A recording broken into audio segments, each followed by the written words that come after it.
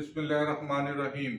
मैं हूँ सुहेल राना काफ़ी रोज़ से एक हलचल थी पाकिस्तान में पकड़ धकड़ और शहदा के मज़ारात को और अटैक्स लेकिन अफवाज पाकिस्तान में आलमोस्ट पाँच या छः थ्री स्टार जनरल नए तैनात किए जाएँगे, पाँच रिटायर हो जाएँगे और सिटिंग आर्मी चीफ पहली दफ़ा बड़ी प्रमोशंस करेंगे।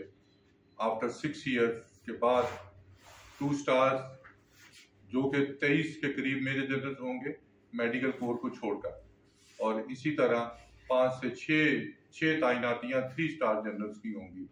Seventy six P M A long course बड़ा मशहूर कोर्स के आखिरी three star general lieutenant general Amir भी सितंबर में रिटायर हो जाएँगे। उनका तलक अफवाज पाकिस्तान की सेवन फ़ील्ड रेजिमेंट से था, अभी है, फिर था होगा। और इसी तरह उसके बाद चिराग हैदर हैं, जो ओटीएस के हैं, वो भी रिटायर हो जाएँगे। इसके बाद इसी सितंबर में नदीम अंजम, जो डीजीआई हैं, वो रिटायर होंगे। उनका तल्लक पंजाब रेजिमेंट से है। इसी तरह खालिद ज़िया जिनका तलक पंजाब रेजिमेंट से है, वो भी रिटायर हो जाएँगे। और सिंध रेजिमेंट से तलक रखने वाले ओटीएस के सईद साहब भी रिटायर हो जाएँगे। मौजूदा आर्मी चीफ को ये बड़ी तैनातियाँ करनी पड़ेंगी। उनके जेन में होगा, वो किसको तैनात करते हैं, किसको नहीं करते। लेकिन मैं बीस एक मे जनरल्स के नाम दे देता हूँ जिनमें से इनको तैनात किया जाएगा। गो के इसमें 10 से 12 ही जर्नैल ऐसे होते हैं जो रनिंग हॉर्स होते हैं। बाकी पोस्टिंग तो उनकी टू स्टार जनरल होती है, लेकिन ऑलमोस्ट वो सुपर सीड ही गिने जाते हैं। जब उनको स्टाफ में भेजा जाता है तो उस वक्त तयन उनका हो जाता है कि उनका प्रमोशन बोर्ड में नाम तो होगा, लेकिन प्रमोशन होती है या नहीं। इसका फैसला जनरल आसम मुनीर ने करना है। लेकिन जो सबसे बड़ी खबर है कि मौजूदा डीजीआई को एक साल की तोसी दी जा रही है। तोसी इंतहाई जराए बावसूख जराए ने इसकी तस्दीक किया कि प्राइम मिनिस्टर ने उनको एक्सटेंशन दे दी है। लेकिन जब वजारत दफ़ा से चेक किया गया कि उनकी कोई समरी मूव हुई, क्या हुआ, वहाँ पे खामोशी है।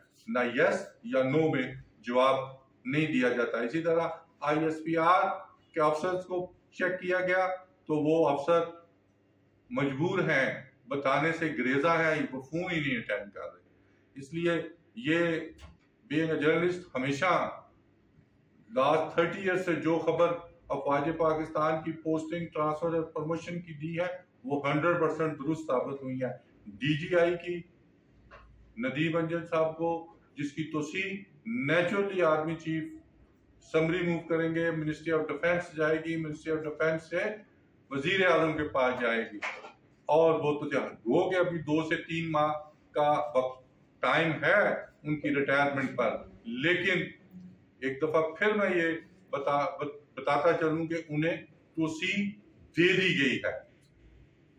जबकि फौजी जराए वजारत दफ़ा के जराए इस पे कंफर्म नहीं करते। जो मेजर जनरल बनेंगे तेईस से बाईस, तेईस जो रनिंग हॉर्स हैं, जो बनेंगे, उनका तलक Pakistan military academy PMA long course के 89 पीएमए लॉन्ग कोर्स से होगा, क्योंकि पिछले बोर्ड में कुछ अफसरान कुछ 70 percent eighty nine P M A के प्रमोट हो चुके हैं, जिनमें से पाँच या छह मेजर जनरल जो डेफर हुए हैं, उनको इस बोर्ड में प्रमोट किया जाएगा और उसके साथ 90 पीएमए लॉन्ग कोर्स होगा। इसी तरह जो थ्री स्टार जनरल छह या सात बनेंगे, जिनको सैयद आसम मुनीर प्रमोट करेंगे first time in the history of Pakistan after Qamar Javed Bajwa छह साल की प्रमोशन के बाद सिटिंग आर्मी चीफ की पहली प्रमोशन होंगी।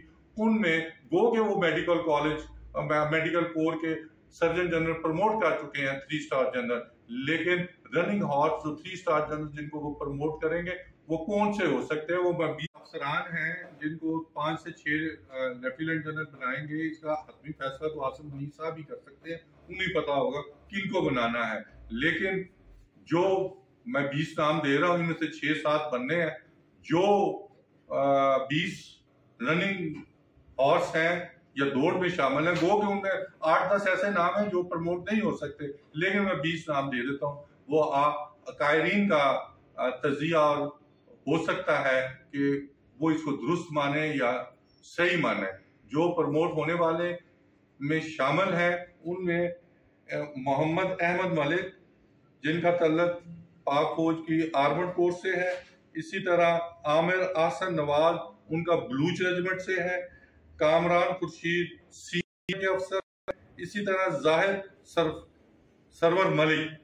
वो उनका तल्लक एयर डिफेंस से है ताहिर शाह उसका तल, उनका तल्लक भी सीएमआई से है न्यार हुसैन जिनका तल्लक नाइन पंजाब रेजिमेंट से है खुरम सरफराज खान उनका तल्लक बलूच रेजिमेंट की सताइस बलूच से है।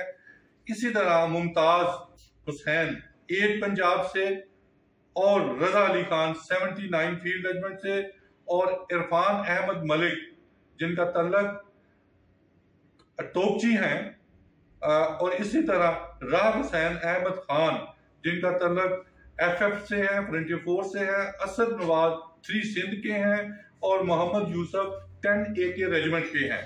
इसी तरह अफसरान जो दूसरे हैं, उनमें सरफराज अहमद, उनका तल्लक एयर डिफेंस से काशिफ ज़फ़र का तल्लक, ऑर्डनेंस से खुरम अनवर का तल्लक e से और मोहम्मद अली खान का तल्लक, सिग्नल से आमिर नवीद का तल्लक। तोपची हैं वो मोहम्मद हसन खटक का तल्लक, फ्रंटियर फोर्स रेजिमेंट से है, मोहम्मद आमिर मजीद एके के हैं, ट्वेंटी नाइन एके के, Mohammad Ijaz seven field regiment के हैं। इन और शाकर खटक।